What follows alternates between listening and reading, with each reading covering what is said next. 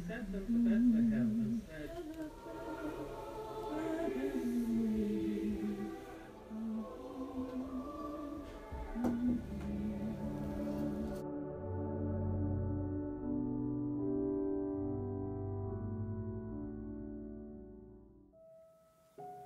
to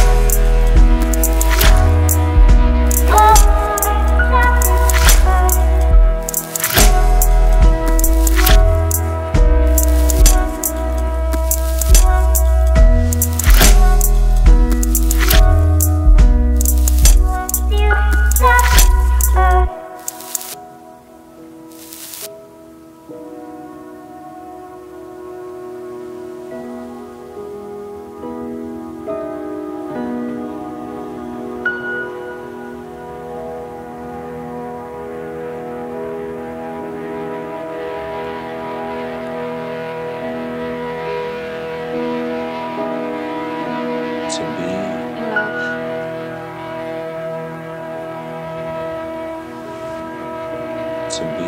in love,